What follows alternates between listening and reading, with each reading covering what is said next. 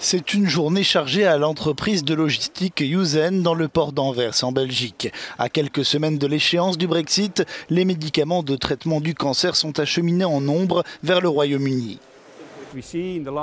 Nous avons vu ces trois derniers mois, particulièrement depuis l'arrivée du nouveau Premier ministre là-bas, que chacun se prépare maintenant physiquement à un Brexit dur. Mais que signifierait un Brexit dur pour Stéphane Dourt et ses collègues? Immédiatement, il va y avoir des retards au passage entre Douvres et Calais, car il y aura de la paperasserie à faire. Tout le reste, ce sont des réglages au niveau des douanes et des dispositions fiscales. De ce point de vue, Yousen Logistics est prête. Les clients se sont adaptés au nouveau numéro de TVA. Ce qui inquiète vraiment Stéphane, c'est de savoir comment le Brexit impactera ces chauffeurs qui viennent d'Europe de l'Est.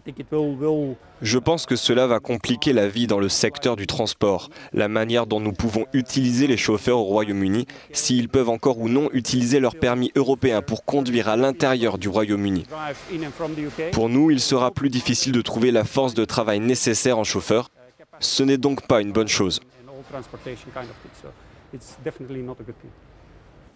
La société de Stéphane Dourt est l'une des 900 entreprises installées dans le port d'Anvers qui seront impactées par le Brexit. Les autorités du port se sont préparées depuis le jour du référendum en juin 2016. Nous avons organisé beaucoup de séminaires, de tournées au Royaume-Uni et en Irlande. Ici aussi, nous avons organisé des programmes de sensibilisation.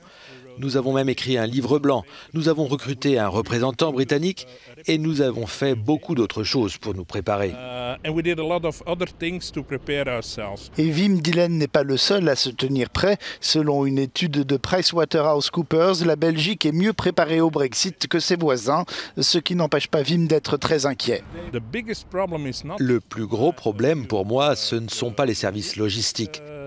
C'est le business lui-même qui est insuffisamment préparé. D'après ce que nous savons, les Britanniques sont moins bien préparés que l'Union européenne. Tous ces préparatifs pourraient s'avérer vains si le Royaume-Uni finit par demander un nouveau délai dans les jours qui viennent.